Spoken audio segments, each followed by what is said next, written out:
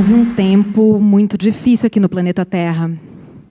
Um mundo de tempo de muita destruição, de caos, de poluição.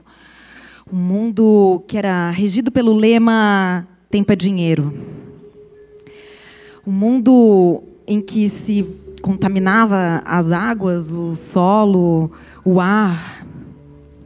Um mundo de comando e controle, baseado na punição e na recompensa com hierarquias muito claras. Imagina, difícil imaginar, não é mesmo? Nós hoje que vivemos o mundo da conexão e da abundância, que nesse planeta já teve uma população que viveu essa, essa trágica civilização? Pois é, era o tempo do Homo sapiens sapiens, sabe? Inclusive nessa época, eles trancavam as crianças em escolas e quando as crianças saíam da escola, elas continuavam estudando, trancadas dentro de casa ou em escolas de inglês, enfim. E aí, quando a criança ficava muito agitada, muito tensa, sabe o que eles faziam? Davam remédios para as crianças ficarem um pouco mais calmas ou focadas. Uau!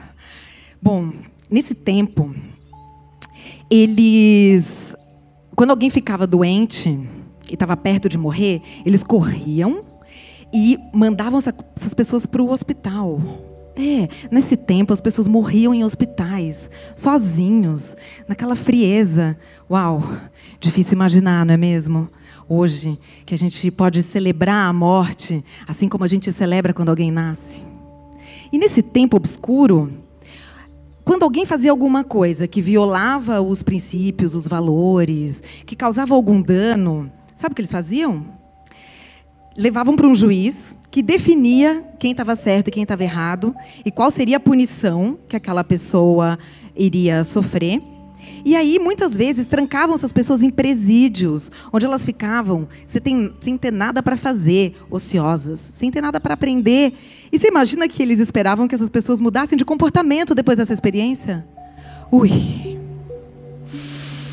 Ah, pois é. Eu tenho um sonho e movida por esse sonho, eu resolvi deixar de ser uma aspirina no sistema.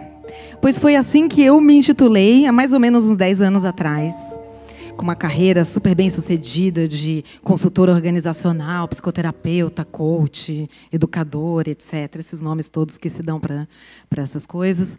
E eu me achava ótima até então quando eu comecei a entrar em contato com algumas tecnologias de transformação social e me dando conta da minha insatisfação com o que eu estava gerando. Porque, sim, quando eu é, fazia uma palestra ou uma consultoria, um coaching, parecia que a pessoa ficava um pouquinho mais feliz. Mas não tinha transformação de fato ali. Então, nesse momento, inclusive muito inspirada por uma frase da Margaret Mead, que dizia assim: nunca duvide de um pequeno grupo de pessoas conscientes e engajadas para mudar o mundo. Porque foi sempre assim que o mundo mudou. Quando eu escutei essa frase, eu falei: Uau!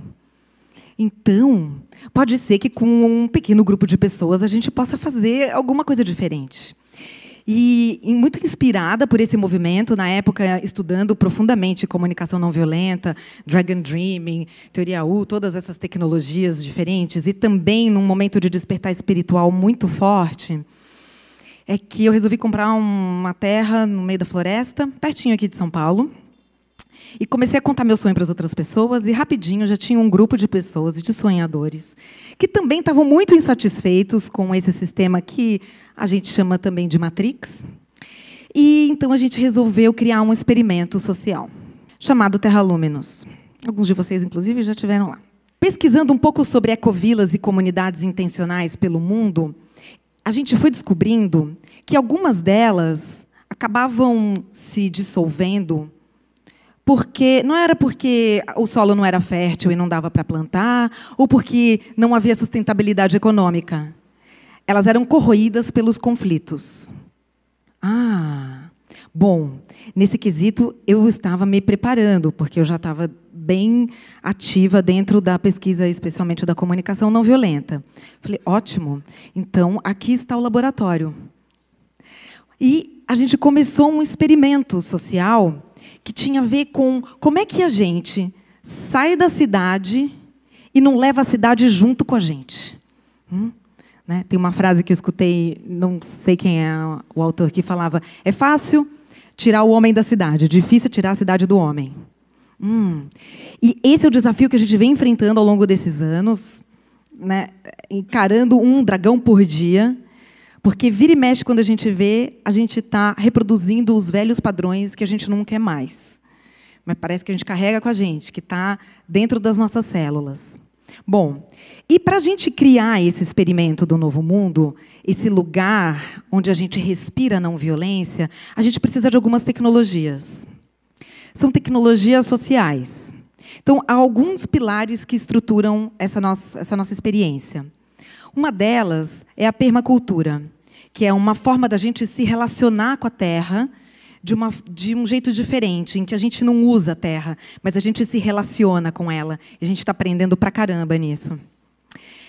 A gente precisa repensar a nossa forma de fazer trocas. Como a gente lida com dinheiro é fundamental para a gente poder fazer essa transição. No Luminous, a gente criou uma moeda chamada Vagalumens, que inclusive já está transbordando as nossas fronteiras e a gente já está trocando com outras pessoas em outros lugares. E a ideia é que a gente possa se olhar não mais mensurando o quanto que você dedicou de horas para aquele projeto ou qual é a tua expertise. Né? O que a gente descobriu é que quem lava prato é tão importante quanto quem cuida das finanças, ou do site, ou de um evento que está acontecendo lá. Ao mesmo tempo, a gente quer cuidar das nossas necessidades de reconhecimento e de justiça. Então, a gente vem criando sistemas onde a gente pode usar o dinheiro e outras energias para que a gente possa expressar esse reconhecimento para as pessoas. Bom, tem um eixo fundamental, que é como é que a gente lida com o poder. Já que a gente decidiu ser uma sociedade de centro vazio, ou seja, não há uma liderança. E, para mim, esse, tem sido o meu principal é, motivador de cura, porque eu fui a sonhadora original, eu que comprei a terra originalmente. Então, aquele é um ambiente que eu já estava muito impregnado pelo meu poder pessoal. Então, o que a gente tem feito, e a gente tem usado a tecnologia da sociocracia, ou governança dinâmica, para a gente se organizar, é que quando a gente toma uma decisão, a gente escuta todas as vozes. Não há alguém que é mais importante do que outro. Então, os dois princípios centrais da sociocracia são equivalência, todas as vozes são contempladas, e a eficácia. Por isso, a gente toma a decisão por consentimento e não por consenso. Então, a sociocracia ela é uma evolução da democracia. Porque olha só que interessante, a democracia, ela é um sistema em que sempre vai ter um ganhador e um perdedor, não é mesmo? Porque a gente toma decisão baseado em maioria, né? Então, quando a gente dissolve a, esse conceito, a gente distribui poder. Não dá para falar numa nova sociedade sem a gente olhar para a questão do poder. E curar essa ferida, e que foi um dos movimentos mais importantes que eu fiz, porque eu percebia que ter poder dava para mim uma certa segurança de que eu seria cuidada, de que eu seria escutada e considerada. Esse tem sido um grande movimento. Não dá para falar de abundância se a gente não fala da criação de um tecido de confiança. Não dá para falar de vulnerabilização se a gente não está mexendo nos nossos julgamentos. E aí uma das coisas que a gente faz é, muitas vezes, poder falar. Olha, eu estou com um julgamento sobre você agora. Você quer escutar? Hum, porque não adianta a gente falar que não vai julgar. A gente julga. Né? Está aqui, está dentro do DNA.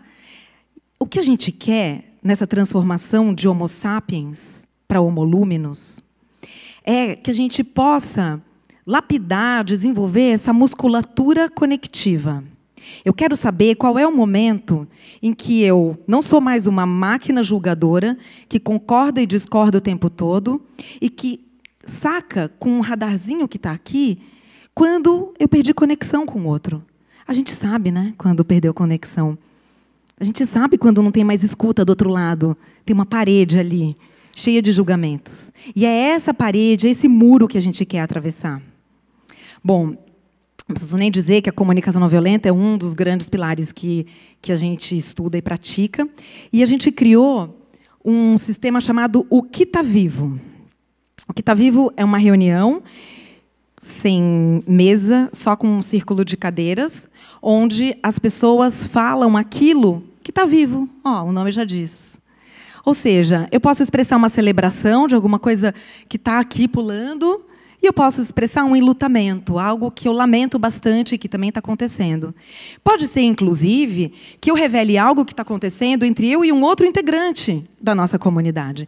E aí a gente abre o que está vivo para um espaço restaurativo.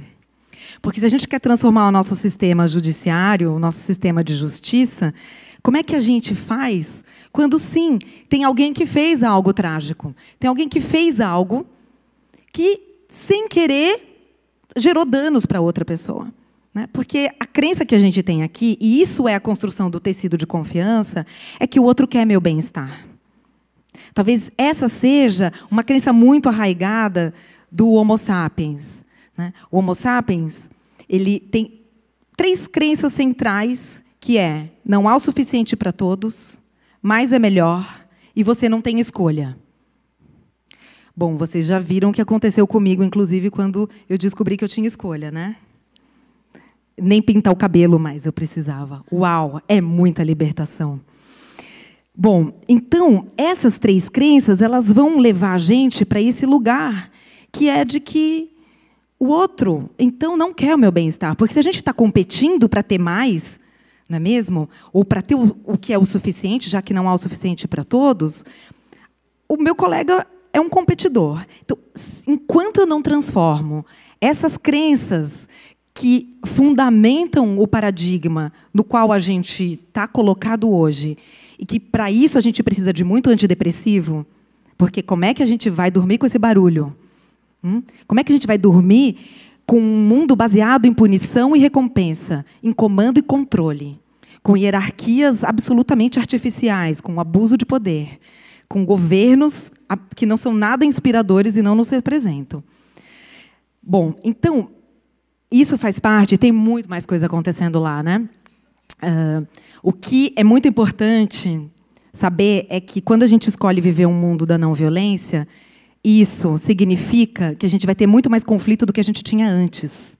Tem gente que chega no Luminous e fica assustado, porque fala: Nossa, mas vocês são muito autênticos aqui. Ah, eu esperava que eu ia chegar num lugar cheio de harmonia, um paraíso idílico. E uau, é absolutamente desafiador viver com um grupo de pessoas que se cuida o tempo todo. Cada um tem esse compromisso lá. Eu me cuido eu não projeto no outro a razão do meu mal-estar, porque eu sou responsável pelos meus sentimentos e pelas minhas necessidades. E também por articular os pedidos, não esperando que os outros vão adivinhar aquilo que eu preciso.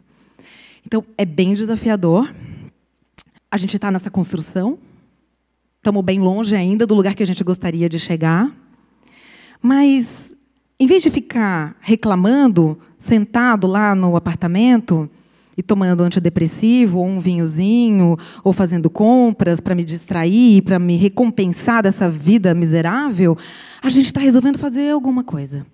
E tem bastante gente fazendo o mesmo em vários lugares desse planeta. É absolutamente subversivo, é uma transgressão.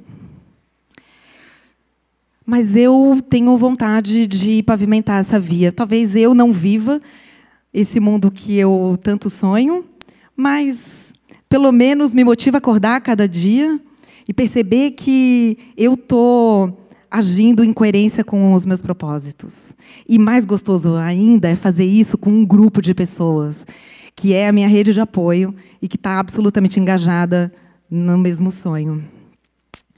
É, o Homo sapiens, que somos nós, sapiens sapiens, a gente está dando a luz ao Homo luminous. E como reza a profecia Hope, nós somos o povo que estávamos esperando. Obrigada.